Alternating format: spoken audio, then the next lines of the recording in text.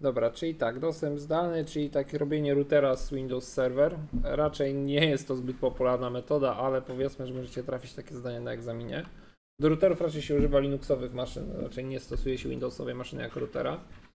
Eee, standardowo 2019 serwer czysty, przywrócony z migawki, menadżer serwera. Będziemy dodać funkcję, dodawać funkcję routingu i teraz tu jest pierwszy fuck up. E, ona jest bardzo, nie wiem dlaczego, zakopana za czymś, co się nazywa dostęp zdalny.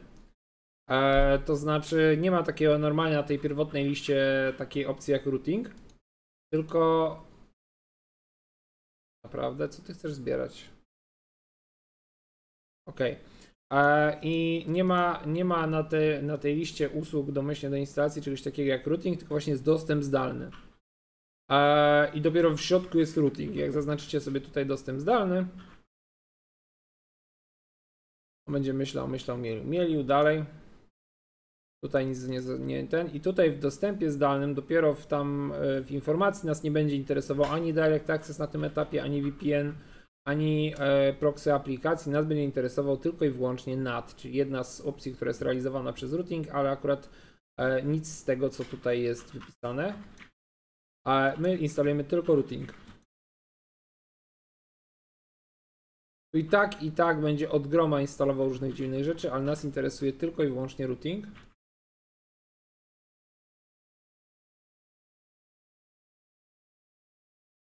A, czyli jeżeli ja to usunę, to usunę mi też routing. Dobra, trudno. E, nie to, to. Dalej.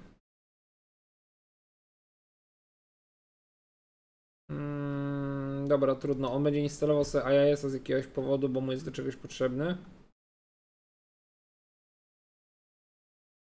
I wziął. I lecimy z tematem. Teraz jak działa routing? Mm, I NAT, ogólnie co to jest NAT?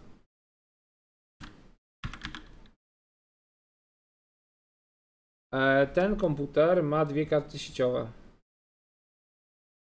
Jedna karta sieciowa jest podłączona przez VirtualBoxowski NAT do internetu jakby zewnętrznego, e, a druga karta jest w tej chwili nieskonfigurowana, czyli ta karta tutaj dostaje jakieś IP powiedzmy takie i na tej karcie jest tak zwany internet, czyli macie wyjście na świat i dostęp do internetu na tej karcie. E, natomiast ta karta w tej chwili chyba jest nieskonfigurowana w ogóle, albo nie, ma statyczne IP skonfigurowane i to jest ta karta wewnętrzna. Do tej karty będzie się łączył Windows 10. E, I plan jest taki, żeby Windows 10 miał dostęp do internetu za pośrednictwem tego komputera. Działa to w ten sposób, że jeżeli ten komputer ma adres zamknąłem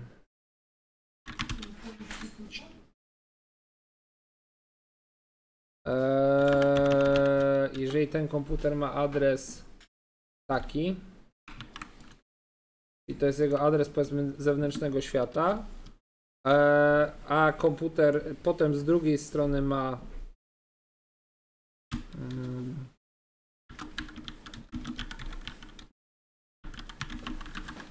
z drugiej strony jest adres tak tu jest dalsza część, część sieci komputerowej i tu będzie maszyna z Windowsem 10.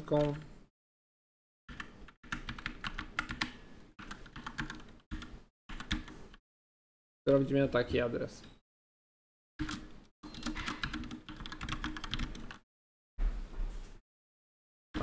I e, myk jest taki, żeby ta maszyna miała dostęp przez ten adres tutaj, gdzieś tam daleko do internetu.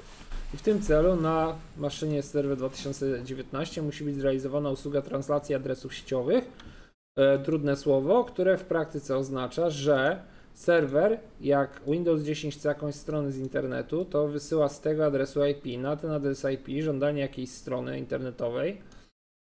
Serwer pamięta, że takie żądanie wyszło z tego adresu, e, sam pyta o tą stronę, którą e, faktycznie chcieliśmy dostać.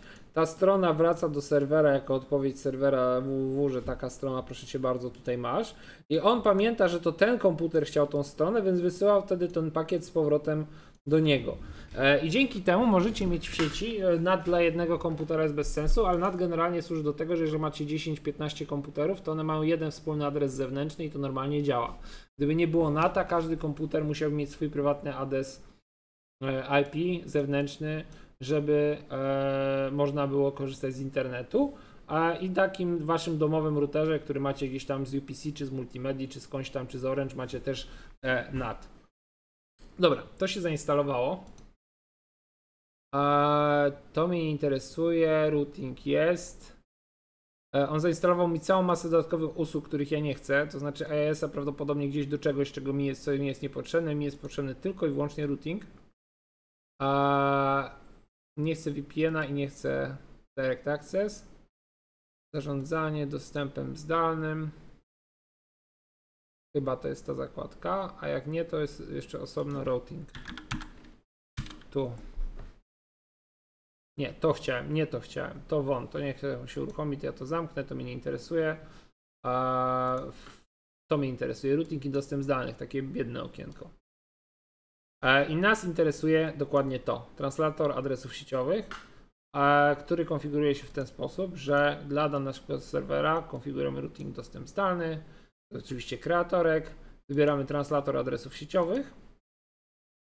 A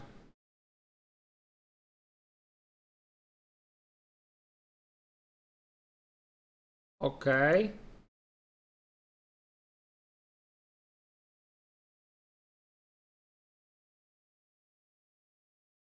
Eee, mam uzasadnioną wątpliwość.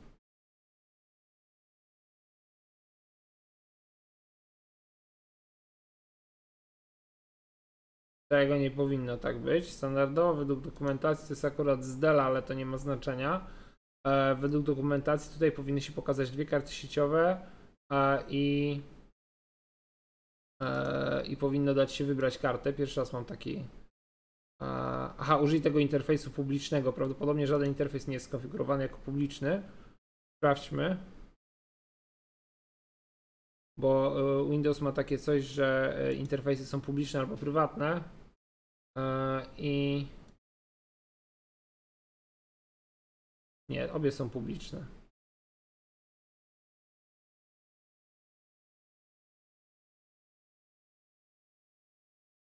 To się kupy nie trzyma.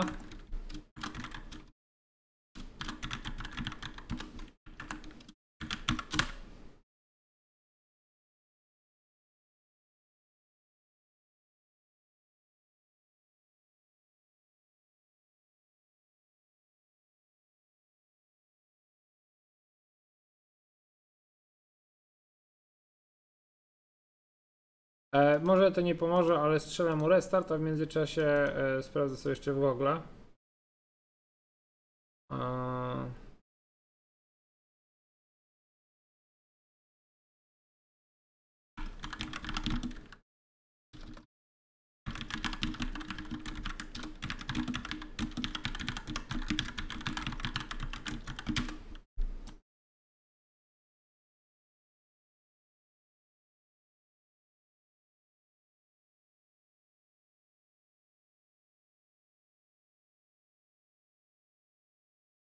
Tak, ale to wszystko jest.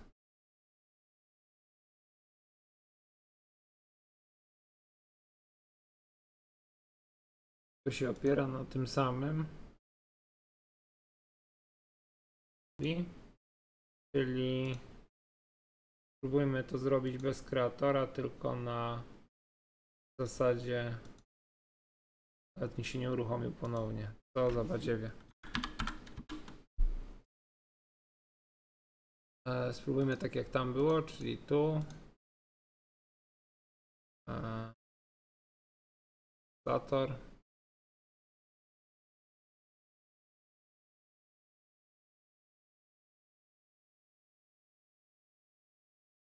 A, usługa nie działała. No to tak, to by mu tłumaczyło, dlaczego nie mam. A dlaczego nie. E, No dobra, zobaczmy.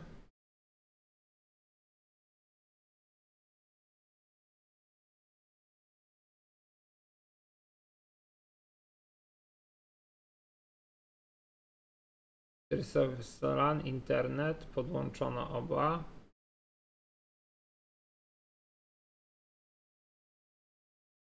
Translator adresów.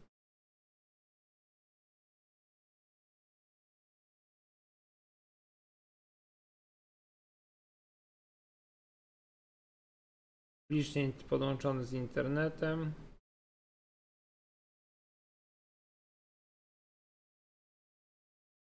Ok.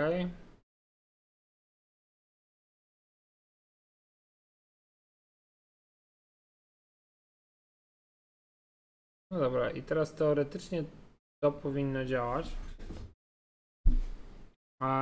Sprawdzimy to sobie w ten sposób, że odpalimy sobie dziesiątkę i zobaczymy, czy pingi idą i czy w ogóle to się w jakiś sposób rusza. A jak nie, to trzeba będzie uwalić całą konfigurację i e, potencjalnie gdzieś tam e, zrobić to od nowa.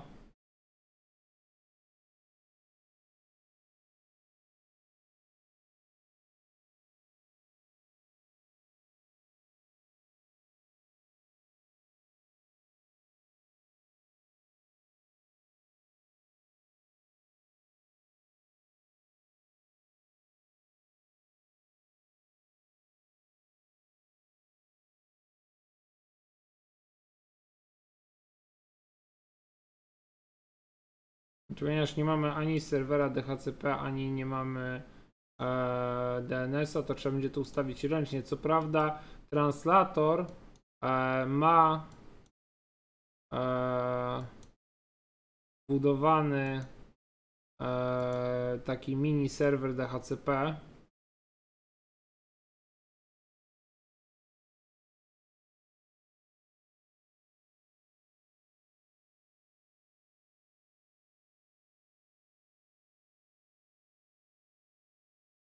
Możemy w sumie to włączyć, tylko żeby e, sprawdźmy sobie, żeby nie pomerdać nie pomerdać e, e, IP-ków. Plan pracuje 1200.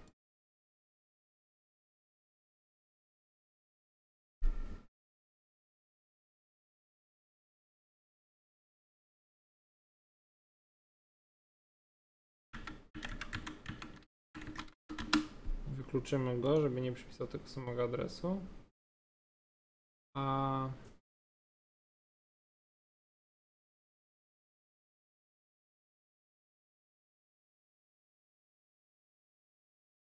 Ok, i teraz to z kolei poz- pozwoli korzystać komputerom wewnątrz sieci z DNS-a. I teraz jak to zrobiliśmy, to ten powinien sobie odebrać adres IP z e, serwera.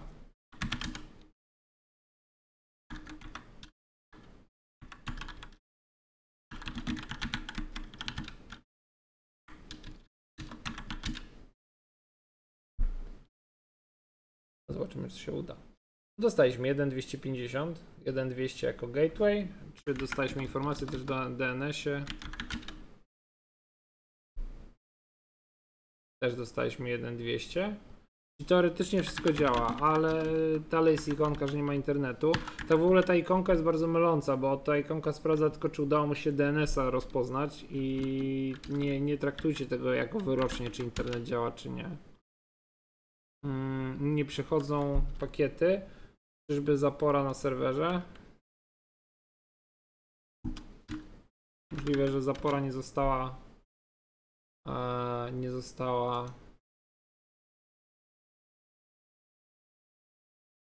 konfigurowana automatycznie, albo przez to, że sieć jest wewnętrzna. Najprościej będzie wyłączyć zaporę i sprawdzić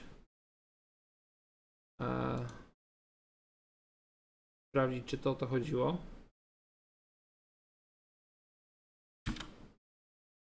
Idą. O, i zobaczcie, się zaświeciło tu, ale mówiłem, żeby nie traktować tego. Nie wierzę, działa. Czyli normalnie ta maszyna, mimo że ona ma IP wewnętrzne, z tej sieci ma internet. A kwestia jest teraz taka, że na egzaminie będziecie mieli wyłączonego firewalla, ale dla empirycznie, żeby sprawdzić, ja jak przełączę tamtą kartę na kartę bezpieczną, czyli że ta karta wewnętrzna jest w sieci bezpiecznej, e, czy on mnie dalej będzie wpuszczał, czy i tak będę musiał wyłączyć firewalla. A, bo to jest dla mnie dosyć ciekawa rzecz, bo tutaj obie sieci są jako sieci publiczne. E,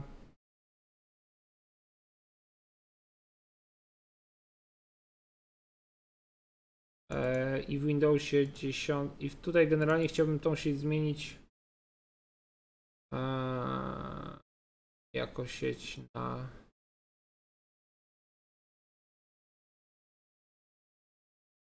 Nic do tego nie mogę znaleźć. Jak zmienić sieć na, pr na prywatną.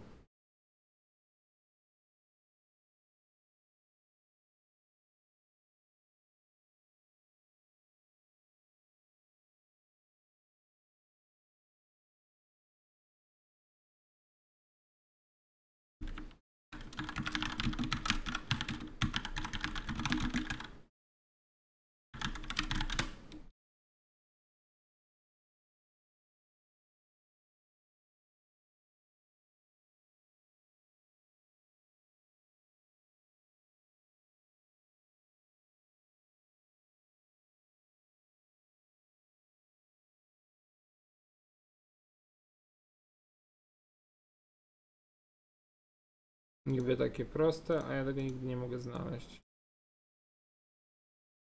A tu jest. Ale tu nawet nie mam takiego przełącznika, zobaczcie, że nie mam, nie mam możliwości ustawienia tej sieci jako, e, jako sieć prywatną. Tamtą mogę, tą. Ale tego, tego nie mogę. Czyli generalnie tu musicie liczyć na to, że zapora, e, zapora na egzaminie będzie wyłączona a, i wtedy nie ma problemu. Mm, Wszystko powinno działać. Sprawa byłaby inna, gdybyście mieli postawionego Active Directory i e, DHCP i całą resztę na tamtą, na tamtą tą i komputer w domenie, to wtedy to byłaby sieć domenowa i byłaby zupełnie inna bajka. Natomiast raczej nie traficie na to samo wszystko, w sensie i domenę i NAT na jednym zadaniu. Tak jak widzicie, NAT działa e, i to jest w zasadzie, przynajmniej według mojej wiedzy, jedyna jedyny rodzaj zadania, który się kiedykolwiek pojawia z e, routingu e, na egzaminach EE 08. E, nie widziałem w każdym razie innych, które wykorzystywałyby VPN-a do czegokolwiek. E, tych zadań nie widziałem, natomiast takie zadanie właśnie z Windows serwerem w charakterze e, translacji adresów jak najbardziej e, się zdarza.